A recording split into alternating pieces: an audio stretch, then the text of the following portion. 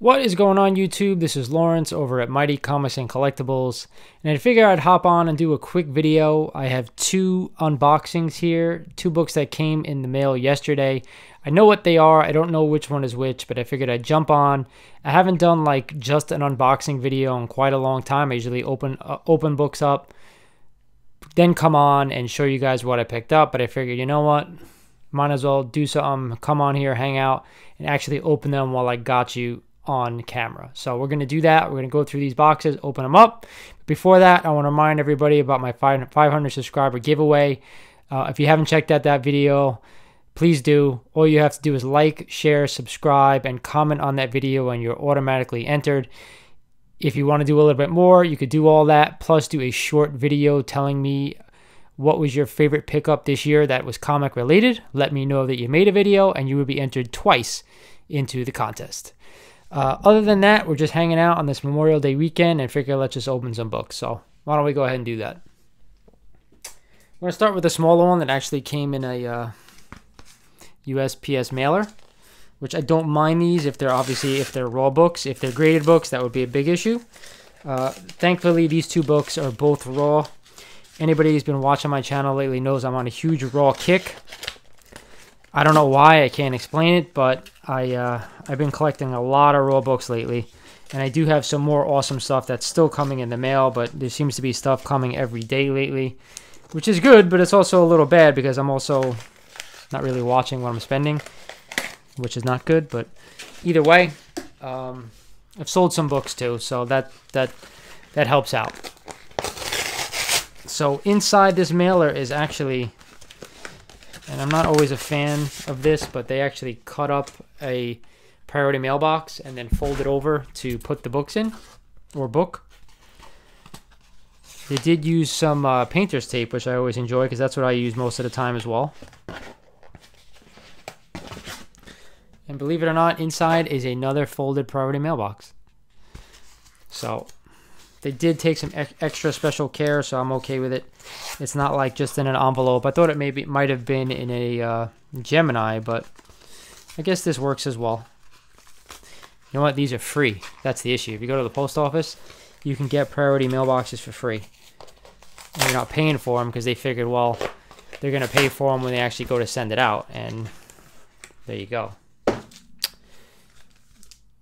So here we go. This is actually the bigger of the two books, and it's a book that I have been hunting for like a lunatic. Uh, I did have a first appearance of this character that I sold recently, and I figured it was about time to sell it. I mean, it's so hot. It's such a huge book that uh, I wanted to kind of cash in while I could, even though I am searching for another copy of it. But this is what they did. They sent they put a board in the back and a board in the, the front, or vice versa, front back. So I'm gonna go ahead and take out the front board. Just all it is extra protection, and I'm always appreciative of that as long as the, the book's okay. So again, this is a low grade book, but it actually looks pretty good. It is a copy of Silver Surfer number one. Now, believe it or not, this is a book I have never owned before. Never have I owned this book. There's definitely some spine wear, and there's also some wear on the uh, the right side of the book, as is some dog ear on the bottom right corner, top left corner. I'll see if I could throw up a picture of this on the video. There you go. You guys let me know what you think. It's a low grade book, but uh, all these square bound books are always hard to find in decent shape. I'm glad this one is still uh, not smushed and and the uh, the spine is not rolled. It looks pretty good. I wanted to shoot for a low grade copy on this book because I, to me, having a super high grade copy, it's not always easy to sell if I wanted to sell it. Even though this one will be staying in the collection for quite a long time, uh, it took me forever to find a decent copy of this book. It's these are tough to find in decent shape, um, especially now with Silver Silver Surfer being so hot. They're through the roof. I just sold the first appearance maybe about two weeks ago, three weeks ago. I had a 4.5 CGC graded copy, and I sent that off to a nice home, hopefully. But uh, hopefully they'll be enjoying that. So that's the first book, Silver Surfer number one.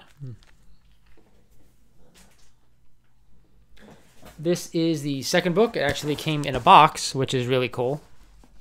as you can tell, it's not fitting a CGC graded book. But I'm always thankful when, when books come in boxes, even though I use Geminis, and I think they're perfectly fine for books. You have plenty of protection, especially if you're using uh, extra backing boards and, and extra cardboard as well. So let's see what they did on this one. Seems to be pretty good, though. By the way, both of these books were purchased on eBay, just so you guys know.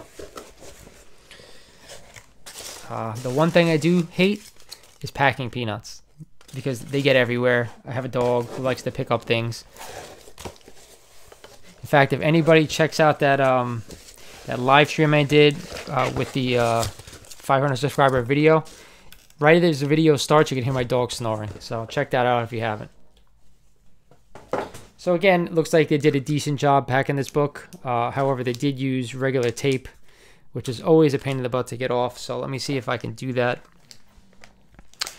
Uh, while I have the time to talk about this, if anybody hasn't seen that video, I will be doing a new video once a week, a live video, and I'm going to pull one or two books from my personal collection.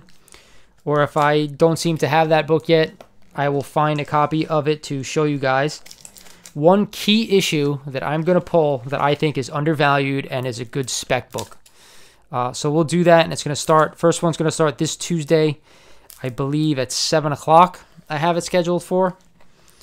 So we'll do that. We'll jump on, we'll go live, and we'll go and talk about one or two books that I think are, are hot and are undervalued right now.